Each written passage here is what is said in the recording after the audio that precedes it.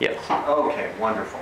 So we were talking about some changes that you saw Yes. regarding his behavior and other changes. Can you tell me about that, please? Uh, well, we noticed, um, I noticed when we got home, um, previous that we, ha- he- um, he had been able to take off his clothes and everything, but it was, it was more struggling for him.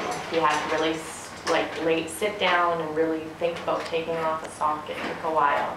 Um, right after we got home, he could take off his clothes quite easily, pull down his pants, rip off his socks quite quickly.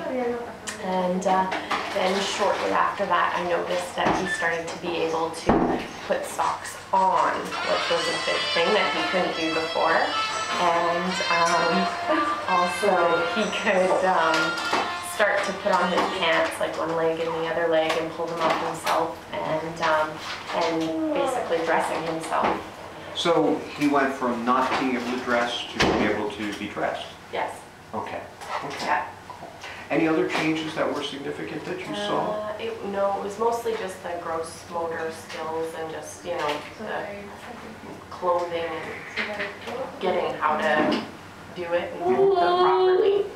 Great. Yeah. Okay, so from nothing clothing wise to put your clothes on. Do you Yeah. lay his clothes out for him and, Um, Let him- I lay his clothes out for him, yeah, and then he oh, so he really picks- is self-dressing? Yeah, he picks them up and puts them on. Great. Yeah, Bet that makes your life easier.